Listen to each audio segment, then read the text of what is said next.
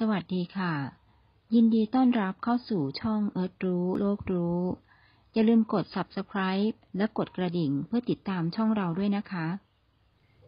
สื่อเกาหลีใต้ปล่อยภาพ G Dragon Big Bang คบหากับเจนนี่แบล็คพิงค์ Dispatch สื่อดังของเกาหลีใต้ได้ออกมารายงานว่า G Dragon และเจนนี่พบกันอย่างลับๆ ซึ่งส่วนใหญ่ทั้งสองคนมักจะนัดเดทกันที่บ้าน โดยบ้านของ G Dragon เป็นสถานที่ที่ดีที่สุดสำหรับการสานสัมพันธ์ เนื่องจากมีระบบความปลอดภัยที่ดี และมีความเป็นส่วนตัวสูง ซึ่งเจนนี่สามารถใช้ได้โดยไม่ต้องยืนยันตัวตน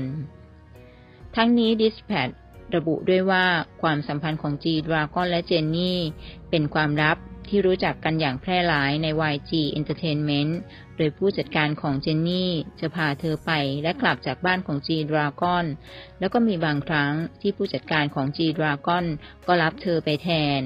หลังจากนั้นไม่นานทาง YG Entertainment ต้นสังกัดของทั้งคู่ได้ออกมาตอบถึงประเด็นร้อนดังกล่าวว่าเราไม่สามารถยืนยันอะไรเกี่ยวกับชีวิตส่วนตัวของศิลปินของเราได้